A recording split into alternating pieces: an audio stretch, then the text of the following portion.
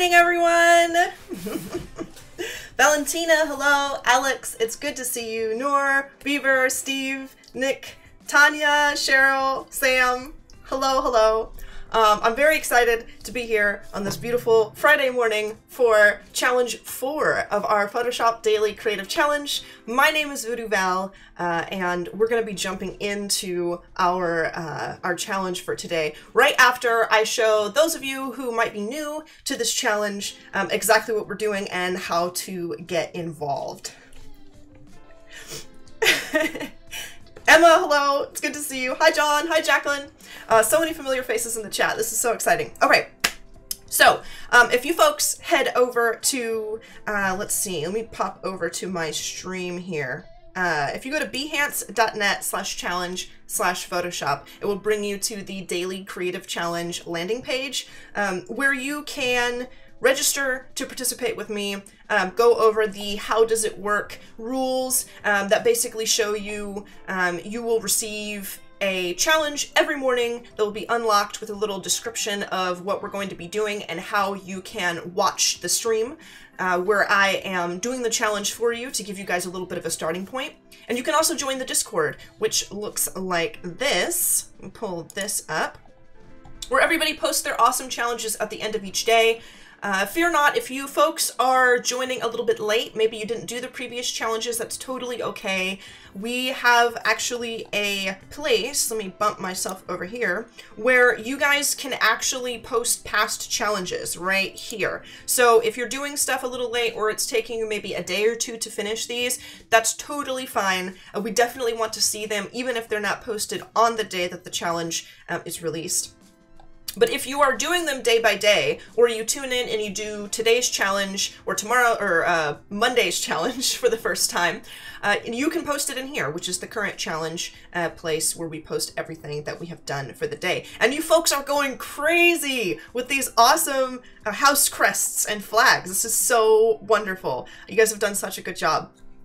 But uh, another thing, another point that I want to make uh, is that I'm kind of doing like a bit of a fantasy RPG theme with these. For those of you folks who are not gamers or not familiar with fantasy anything, you do not have to follow that theme for your own challenges, uh, your own entries. Um, it's just kind of a cool little prompt to get kind of the creative juices flowing, um, get that imagination running uh, to give you guys um, a bit of a starting point. But all of these challenges actually contain knowledge that you can use for all different kinds of projects. So if you'd like to do your own thing, embellish a little bit for these challenges, or transform them into uh, totally different challenges of your own, feel free to do so. These are your challenges for you to better yourself uh, in Photoshop and scrub up on those skills, and you can do that however you want.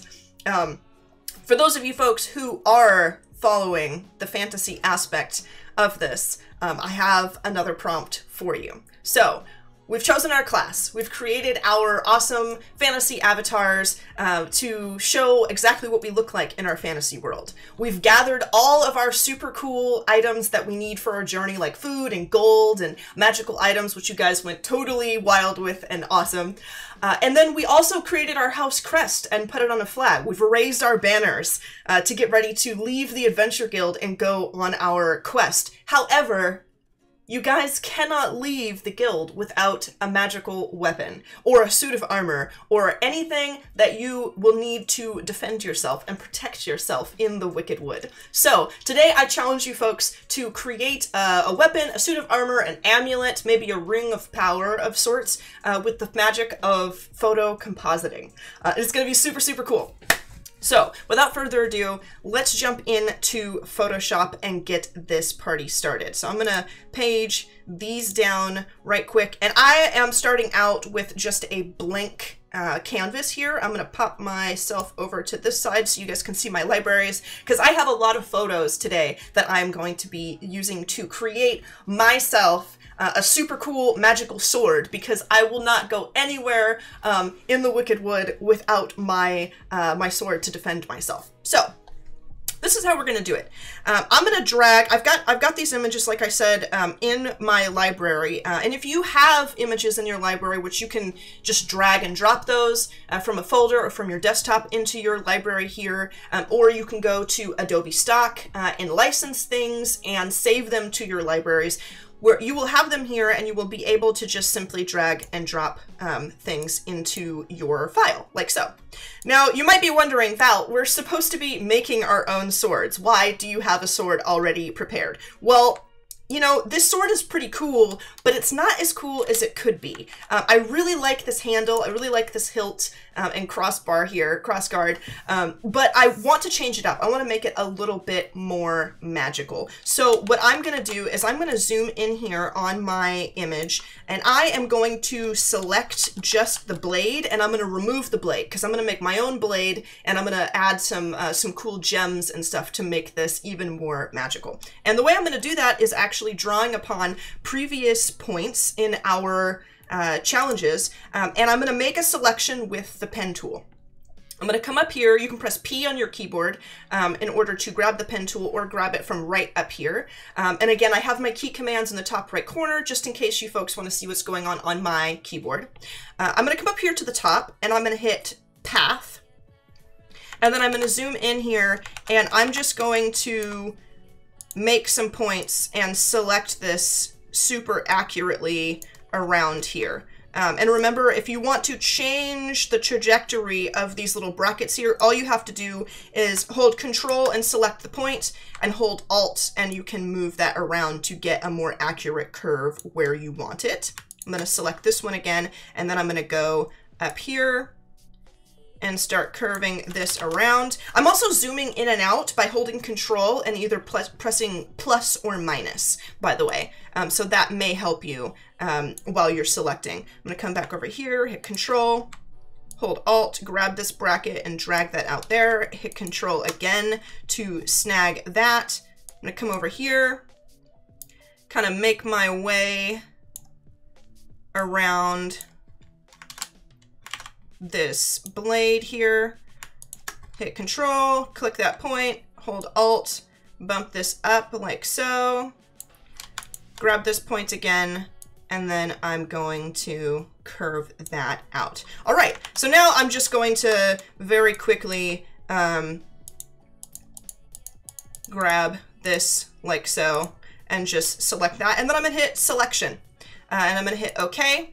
And then I am going to uh, grab my marquee tool by just clicking that up there or hitting M on my keyboard. I'm going to right click and I'm going to say select inverse. Uh, and then I'm just going to say control X on this. Oh, this is a smart object, by the way, so I can't really do that. So what I'm going to do um, is I am going to actually right click the layer uh, and I'm going to rasterize it. And then I'm going to do control X, which will allow me to cut this out. So now I have the handle of my awesome sword that I'm going to be um, taking with me on my quest. Um, but I also want to add maybe a jewel of power or something to this hilt. So I'm going to come over here to this cool piece of natural amber that I have. I'm going to double click this and open it up in its own uh, window here. Uh, and I'm going to zoom in and I'm going to do the same thing. I'm going to press P on my keyboard to grab my pen tool.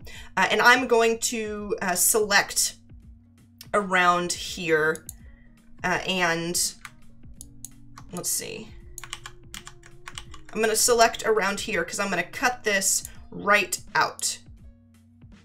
Like so. And I'm going to even uh, control click and then hold alt and bump that out and then click my point over here again.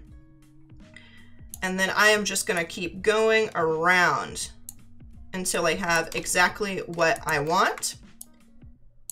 Get that out there. Boom, boom that like that. That's good enough for me. Maybe I'll bump this up just slightly. And then I'm going to keep going around until I have a really nice selection of uh, what I want here. Let's click this and drag that out just a little bit. And I'm going to have to grab this other point again, kind of maneuver this nicely right there. Grab this point, bump that in like so.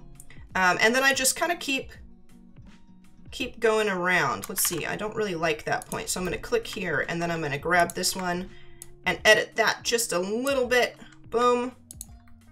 And then I'm going to click here and bring that around like that. And that's just like, honestly, I think this is my new favorite way of selecting things and just really getting in there and getting a very accurate uh, selection for whatever it is that I am working on. Um, so now that I have that, again, I'm gonna hit selection, I'm gonna hit okay, uh, I'm going to select inverse because I don't want to select what's around it. I want to select that one thing that I went around. See, select inverse.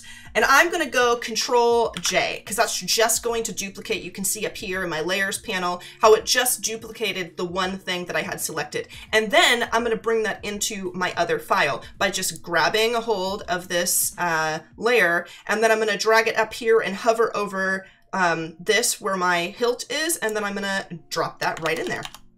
I'm going to convert this to a smart object because I'm going to be resizing it and I don't want it to lose its detail. And then I'm going to hit Control T to transform and I'm just going to put that right on the hilt of my sword like this. I might make that just a tad bit smaller, a little bit more, and just throw that in right there. Boom. And you can get fancy with this if you like. If you want it to, you want to add a little bit of depth, you can double click that layer like that. Um, open up the layer styles stuff here, um, and you can add uh, maybe an outer glow. I would say a drop shadow, but drop shadow kind of adds a directional shadow, whereas outer glow adds something that just goes around all the edges of the item here. Um, and I'm going to put this on like a dark brown I'm gonna say, okay, I'm gonna put this on a normal, I think, and I'm gonna bump the opacity down a little bit, and I'm gonna decrease the size just to give it like a little tiny, tiny bit of shadow around. And it's not that, it's not that big a deal. It's not a huge change, but it makes me feel better. I like it that way. So that is what I am going to do. All right, so now we have a little uh, jewel of power in our hilt. Now we have to add another blade, a blade that I prefer a little bit more. And I'm going to do something sort of fancy with this. Uh, first, I'm going to organize my layers just a little bit. I'm going to call this um, hilt right here, hilt. Boom. I'm going to call this gem like so, and I'm going to hit this bracket and close the effects that we have. Um, and underneath all of these, I'm going to make a new layer that was Control Shift N. And I am going to grab my marquee tool, which I'm already on, but if you're not, press M on your keyboard and it'll pull up your marquee. And I'm going to do something similar to what we did to create the sh uh, shield yesterday. Uh, I am going to drag in a rectangle like so. I'm going to hit uh, G on my keyboard to select my paint bucket. I'm going to grab uh, gray here from this hilt and I'm going to paint bucket that in like so. Uh, and then I'm going to grab my polygonal lasso tool, which if you don't see your, your polygonal lasso tool, it's just the regular lasso tool when you click your tool in your toolbar or press L on your keyboard. Um, all you have to do is right click that and then hover over here to select that. Uh, and then I am going to do a little cut out here um, by selecting that and I'm going to go control X and bump that out. Then I'm going to do control J to duplicate Control T to transform. I'm going to right click and then I'm going to hit flip horizontal and drag this out until I have um, a kind of a sword shape. And then if I hit Control E, that will merge uh, the layer that I'm on with the layer directly below mine. Uh, and then I'm going to rename this Blade. Now it's lo looking a little wonky, but bear with me. We're going to fix this up. All right, so I'm going to go Control T and I am going to make this thinner. And if you're using the newest version of Photoshop, you'll notice that it does keep its aspect ratio. So all you have to do is hold shift and you will be able to work that however you like. I'm gonna make it thin. I'm gonna drag this over to the center like so. I'm gonna zoom out and see how I like that. Yeah. Uh, and I'm gonna hit enter to place that. And then I'm gonna go a step further. I'm going to double click this to open up the layer style uh, panel. And then I'm to bevel and emboss this. I'm to hit bevel and emboss. Um, and I'm to kind of amp up the depth a little bit. Let's see. Looks like I've got some artifacts on the end there that I don't want. So I'm actually going to come over here like this. Um, if I hold control and click that layer, it selects everything within the layer. Um, and then I'm going to right click and say select inverse, and then I'm going to say control cut which I'm not exactly sure why that's doing that. Let me see if I can uh, figure that out. Let's bump the size down just slightly. Um, let's say I do want it to chisel hard, um, but let's see. Maybe we can do outer bevel. No, we're gonna do emboss. Let's see, chisel soft. We're gonna keep it on chisel hard. Bump the depth in just a little bit. Still giving me those artifacts, but you know what? It doesn't matter because I can actually fix it once we get further into the design. So I'll show you how I'll do that. Um, I am going to change this angle like that to give it a little bit of a shadow. I'm going to say okay, and then to get rid of that issue there, all I'm going to do is I'm going to first select uh, this by holding control and clicking. Um, and with that selected, I'm going to rasterize this, and then I'm going to right click and say select inverse, and then I'm going to do control cut, and then it works that way. Um, so now I've got a little blade and it's got some shadow on it, but we want to add a little bit of detail to this. Um, so I've got some pretty cool textures here. Um, I've got some metal textures. I've got some textures of like water on a window that I thought was pretty cool. Um, and keep in mind, whenever you're doing photo compositing and things like this, you don't necessarily have to have the exact texture that you're looking to put on to an item or whatever it is that you're working on you can get a little creative with it. I want some texture on this to make it look a little battle worn, and so using an image of water on a window, like rain droplets on a glass pane, actually does add a little bit of texture that I quite like. So here is what I'm going to do. First, I'm going to grab this image here. Um, I'm going to double click that and open it up. Um, I'm going to go Control A, which selects the border of your entire canvas, and I'm going to say Control C to copy this. And then I'm going to come over here, and I am going to Control V, paste, like so. I'm going to Control T and hold the Alt button to resize. If you hold Alt when you resize, instead of resizing it from one side, when I hold Alt down, it resizes it from all sides, which is very useful. Um, I'm going to put this over my blade here like that. Um, I'm going to hit enter and then I'm going to use a clipping mask because I want this to adhere to the borders of the blade that I just created. So I'm going to right click on my texture here. I'm going to say create clipping mask and then it kind of gloms on to whatever is below it like so. And then I can do some more uh, transforming. Like maybe I want this to be a little more detailed. I want a little more um, that's actually pretty cool right there. Maybe I want a little more texture. I'm going to go like that. And then I'm going to flip through here um, and do uh, some cool effects with the uh, blending modes. Um, let's see if we can get something interesting here.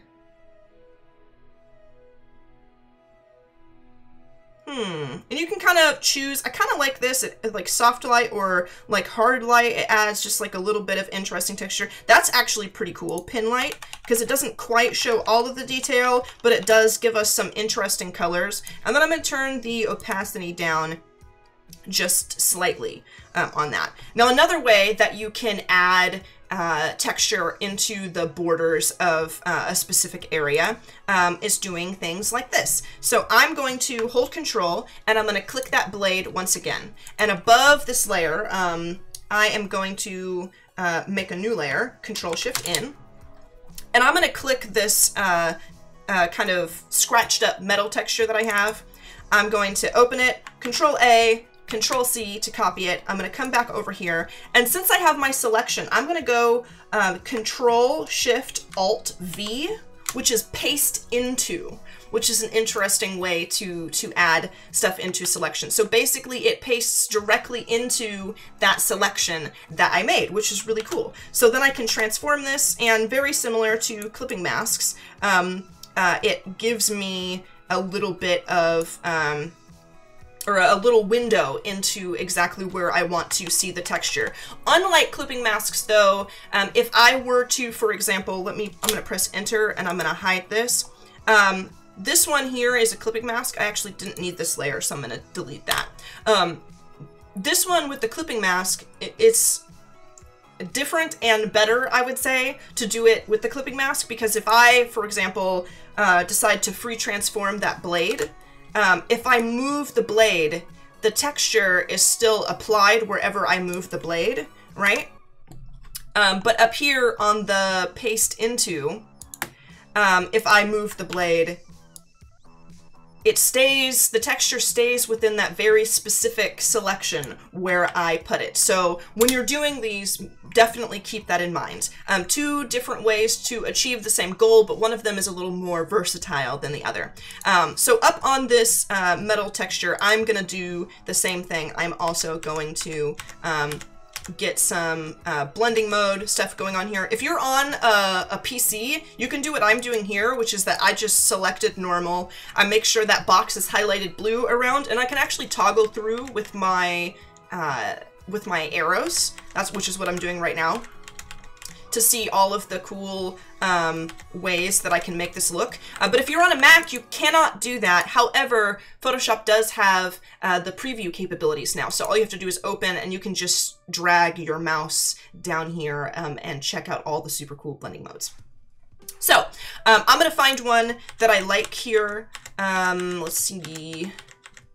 I typically have very specific ones that I try out on purpose, like overlay and soft light are some of my go-to. Um, I like color dodge when I want to make things look bright um, and uh, glowy. I also use a lot of darken and multiply too, um, but sometimes I'm pleasantly surprised when it comes to a lot of these blending modes. So typically, even though I usually know the ones that I like, I do like to scroll through everything to see uh, what I can actually achieve. Um, but I think I'm to end up on like a soft light. That looks pretty darn cool. Um, so there, now we've, I've created my blade. I kind of want a little more um, definition on this side blade here. Um, and I could either go back into Bevel and Emboss and uh, create uh, something uh, or kind of edit the, the Bevel and Emboss uh, settings if I want. Um, or I could come in like with a brush and like paint a stripe of, um, of light uh, on the side there. Or we could do something like this. If I select the shape of this blade, um, go Control Shift N to make a new layer, which I will call light. Uh, we could also do this. This is kind of the uh, quick and maybe maybe slightly lazy way to do it, but just for the sake of showing other techniques, I'm gonna I'm gonna get into it. Um, and I want to take away part of the selection. So if I hold, if you hold Alt, it will subtract from a selection, um, and if you hold uh, Shift, it will add to your selection. So keep that in mind when you're using your marquee tools and whatnot. But I'm gonna come down here and I am going to remove from there, and then I'm gonna grab my polygonal lasso tool. Um, I'm actually gonna let's see, not remove so much from there with my marquee. Let me hold, uh, hold Alt and get, there we go, like that. Um, and then I'm gonna come in here, polygonal lasso tool, I'm gonna hold Alt, and I'm gonna get rid of that. And then I'm gonna uh, press G on my keyboard, and I'm gonna paint bucket in that right there, maybe a little brighter um, and add some light in there and then turn it down on a lower opacity. And there you have it.